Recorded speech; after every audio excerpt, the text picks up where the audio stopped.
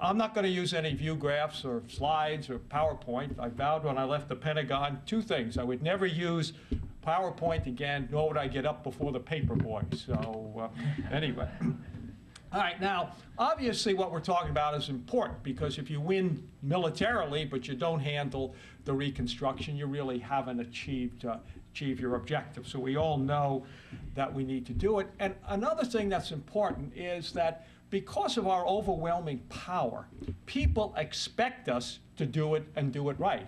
I think when the history of Iraq is written, you will find out, and I know the last time I was there and talking to uh, one of uh, Maliki's advisors, you know, the thing is, hey, you guys can go to the moon, you can do all these things. What do you mean you can't get this situation under control and you can't get the power back on and all that? So you have a double problem. One, you need to do it to translate the, the military victory into a stable peace, and the other is people expect you and you don't, that fuels the, the opposition.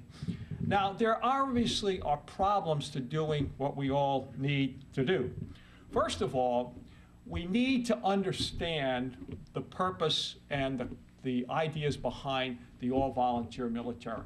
When we ended conscription in 1973, we built an all-volunteer military on three pillars. One was to have a comparatively small active army. Why? Personnel became expensive after you ended the hidden tax of conscription. And number two, the Army uh, the less people they had to recruit, obviously, the higher the standards that they could have. This active army, comparatively small, was to be backed up by a guard and reserve, which served as a strategic reserve, not an operational reserve, to drafting people, again, if you had a long, extended war. Now, if you don't want to call these wars in, in Iraq and a long war, as General Abizaid said, I don't know what you do. And that's why we make people register. So what has happened, because nobody wants to take that third step, you have a, a, a problem of uh, not enough people, uh, military people, on the ground to stabilize the situation so you can uh, obviously move on to the, the reconstruction. Next problem you have is you have an administration that doesn't think this is important. Remember that when President Bush campaigned uh, in 2000, he derided the Clinton administration for doing this, uh, this type of uh, thing. And basically the message to the rest of the world is, you know, real men fight wars. In other words, we do the cooking, the rest of you can do the dishes. And because of that, this, the, the, uh, the concept in the, in the government, it took it a long while to catch up to where it, it needed to be. And then you also had this uh, ideology of transformation in which uh, Rumsfeld seemed to think that you could win wars and you know, stabilize countries with three men and a small boy. And remember that on the eve of the attacks of 9/11, we were going to get rid of two army divisions. I mean, that was the direction that we were going. That we were going.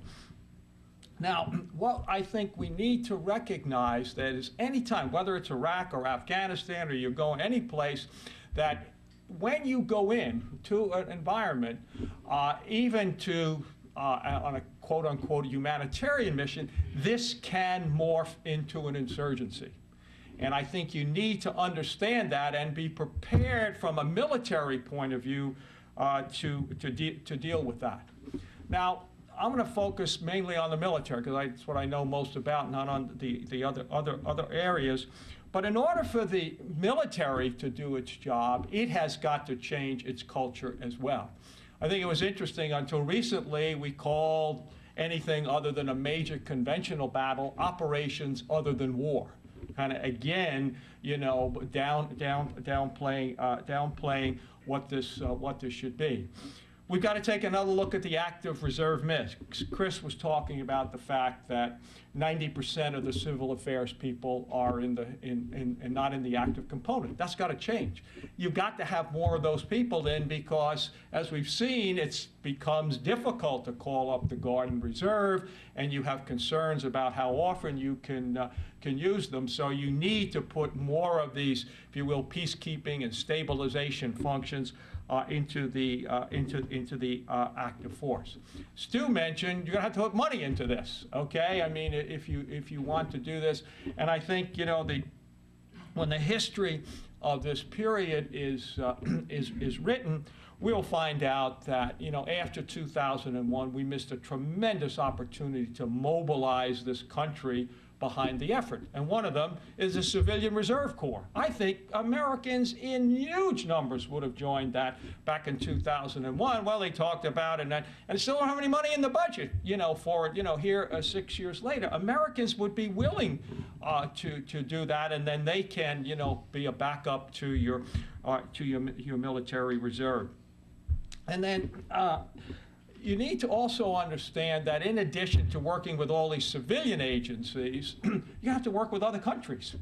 Uh, you know, in looking at Afghanistan, I can't figure out who's in charge, who's getting the aid money, where it's going. Nobody seems. You've got two separate military commands, and you've got, for example, on the eradication policy for the uh, for the poppies, you've got the Europeans have one. We, we have a we have another view. So it's not just working civil military. It's going to be working with uh, with other nations. All right.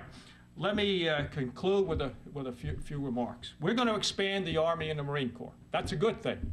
What we have to ensure is we don't replicate what we have now. You need to, when, you know, set up, call them peacekeeping and stabilization division, whatever you want to call them, but you're going to have to have to get uh, get that get that done. Now, when you expand the services, the particularly the Army, which is the biggest expansion, do not lower your standards. I mean, last year, the Army, in order to meet its recruiting standards, took in 1,600 people who have felony uh, on their on their record. You can't do that because these environments that you put people into are very, very demanding. You do need the be the best and the uh, and and and the brightest. Um, you have to make not only these set up uh, new kinds of uh, forces, but people who join them have to be rewarded in the promotions. Okay, people are going to go where the promotions are uh, you know, reading something, you know, about, uh, you know, trying to set up an advisory corps and have people to go over there to train the Iraqi security forces. You saw the story in the paper this morning. People said, well, yeah, but I don't know if that's going to be good for my career. I would want to stay home and command a, uh, battalion. It has to be, or you're not going to get the, uh, uh, get the right people. You're going to have to make some hard choices, okay? The budget can't keep going up at the rate that it has. And if you really believe in this, you're going to have to look at some of what I would call the legacy systems from the, uh, from the Cold War in terms of uh, ships designed to fight open ocean warfare or planes designed you know, to take on the next generation of Soviet fighter. Those type of things you're going to have to make uh, some hard choices. And that means that the ground forces are going to have to get a larger share of the of the budget. Now the final thing, you've heard a lot about Goldwater Nichols, and we do, yeah, we need it, but you got to remember how Goldwater Nichols came. The executive branch fought it. Executive branches don't like to admit they have a problem. And so you're going to need the impetus to come from the legislative branch. And I remember talking to the late uh, Congressman Nichols because I was in the executive branch at the time and I thought it was a good idea. In fact, the first book I ever wrote was about the Joint Chiefs of Staff, and I found out that they, that they were neither joint nor chief, and you know really that you needed to, uh, uh, to, to, to, to, to, to do something.